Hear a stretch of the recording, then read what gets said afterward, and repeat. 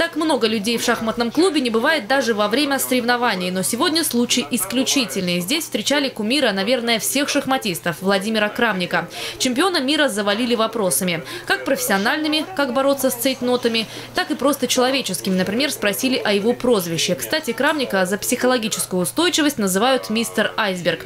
А еще поговорили о краевой школе имени Крамника. Филиал шахматного центра планируют открыть и в Сочи. Управлять школой будет чемпион Европы, один из тренеров Владимира Крамника Павел Трегубов. Мне, конечно, очень приятно возглавить такой масштабный проект, который уже сейчас получил серьезную поддержку и со стороны краевых властей, и э, даже на государственном уровне, чтобы пошло гладко, чтобы тысячи детей получили доступ к занятиям шахматами с э, ведущими нашими специалистами.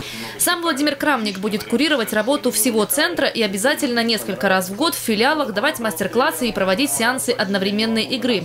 А сейчас он думает о тренерском штабе. Учителя должны быть лучшими. К счастью, вот э, э, край финансирует э, этот проект школы, это крупный проект, но там будет достаточно средств для того, чтобы привлечь действительно квалифицированных специалистов, чтобы помочь детям, потому что в этом возрасте квалификация очень важна, то есть чтобы ребенок действительно развивался, шел по правильному направлению. Шахматы в Краснодарском крае вид спорта популярный. Сегодня только в Сочи, например, шахматами занимается около 600 человек.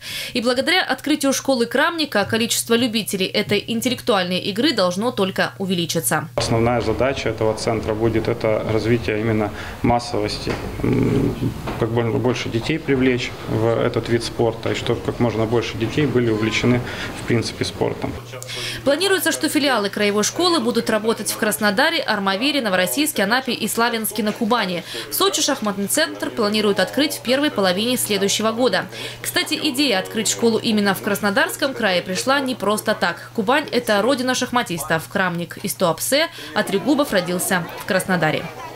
Ольга Десятого, Михаил Дубинин, телекомпания «ФКТ».